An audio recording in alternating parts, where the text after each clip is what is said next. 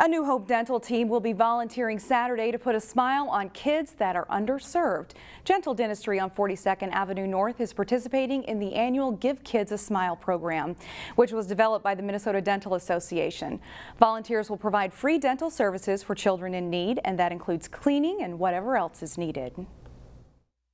It's really amazing to think that one in four children aged 2 to 11 already have decay in their baby teeth and have no access to dental care. And dental disease for children is a much bigger issue than even asthma for children. So far, Gentle Dentistry will be serving 50 children who don't have access to dental care, and walk-ins will also be allowed on Saturday. Find more local news stories at ccxmedia.org and follow us on social media.